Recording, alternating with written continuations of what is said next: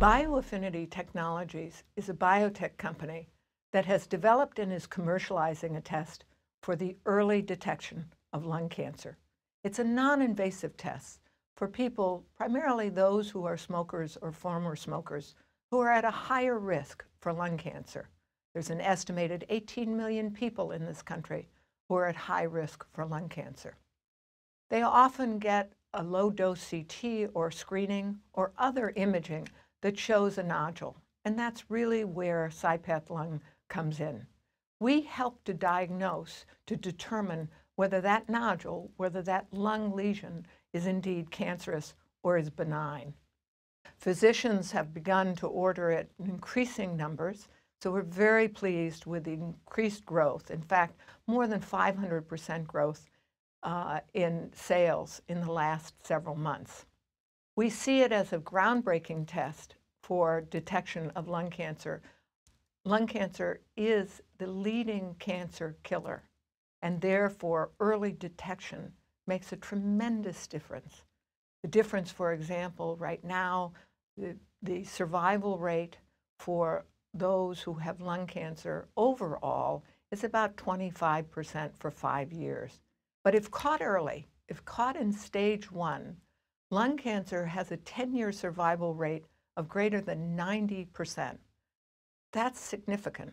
And that means that early detection, particularly using CyPath Lung, can make a big difference. Precision Pathology is our laboratory. It's a subsidiary of BioAffinity Technologies. It's a commercial CAP-CLIA lab, meaning that it's certified by the Center for Medicare and Medicaid. And it offers 100 different tests. But possibly its most important test is CyPath Lung. On January 1 of this year, we had our CPT code, our reimbursement code from Medicare, become effective. And what that means is the test has been reimbursed now, both by Medicare and by private payers. That's significant. It gives more confidence to patients and to their physicians for using CyPath Lung. And indeed, we've seen a significant growth in uh, sales for CyPath Lung because of that. Our test, CyPath Lung, is a non-invasive test for the early detection of lung cancer. And finding lung cancer early can make a significant difference.